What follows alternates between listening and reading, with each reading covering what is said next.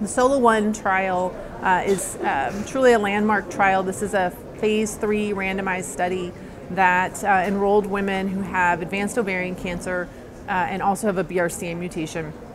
and who received standard of care chemotherapy and had an excellent response to that chemotherapy, either with a complete or partial response. The standard of care in that setting is either use of bevacizumab in some parts of the world or just observation.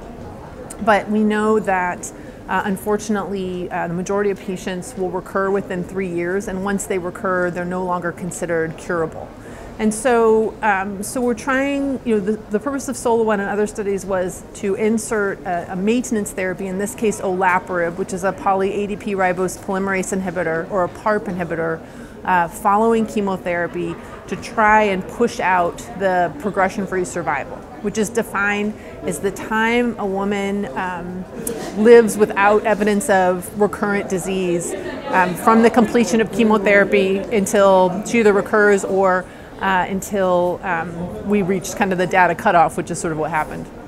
And so what we found uh, in this study, which again is randomized, two to one randomization, uh, is that uh, the women who received olaparib, um, we have not even reached their median progression-free survival as of yet with at least three years of follow-up, and in fact it's about 41 months of follow-up, as compared to the women who were randomized to placebo, who have a median progression-free survival of about 13.8 months. And so this uh, translates to a hazard ratio of 0.3, which is highly statistically significant. And said in another way, uh, use of olaparib maintenance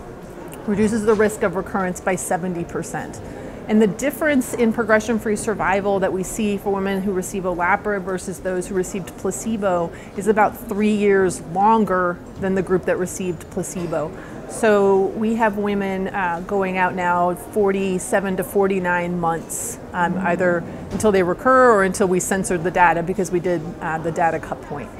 So it's really um, an unprecedented improvement in progression-free survival. Uh, we've never seen anything close to this in frontline ovarian cancer, and so we'll be um, kind of immediately practice changing for our patients.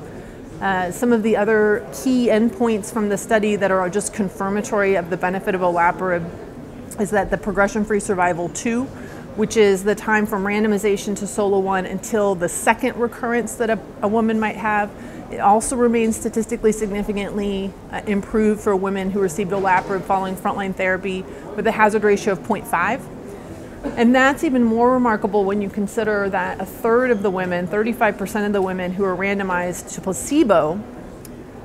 received a PARP inhibitor as part of their next line of therapy. So they crossed over in effect. And we still see this um, very statistically significant benefit in progression free survival, too, which is not overall survival, but it is considered a surrogate for overall survival. So it does indicate to us that we're on the right track um, in terms of overall survival, but that's um, a very immature endpoint at this point and will be years before it results out.